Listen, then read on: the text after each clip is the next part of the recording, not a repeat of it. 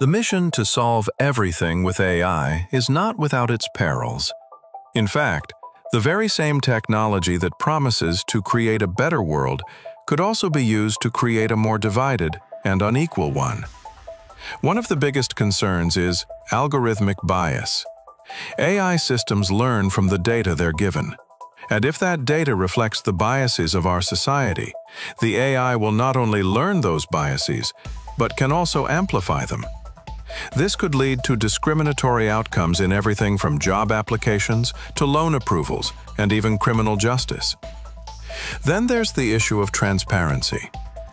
Many of the most powerful AI algorithms are black boxes, meaning that even their creators don't fully understand how they arrive at their conclusions. This lack of explainability makes it difficult to trust AI, especially when it's making life or death decisions. And let's not forget about privacy. AI systems require vast amounts of data to function, and as they become more integrated into our lives, they will collect more and more of our personal information. This raises serious concerns about surveillance and the potential for misuse of our data. The rise of AI also brings up the thorny issue of job displacement. As AI becomes more capable, it's inevitable that some jobs will be automated.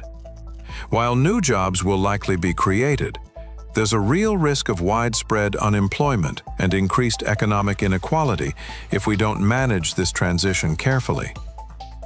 These are not easy problems to solve, and they highlight the fact that for all its incredible power, AI is still a work in progress. If you found this video insightful, please consider liking and subscribing for more deep dives into the technologies that are shaping our world. Thanks for watching.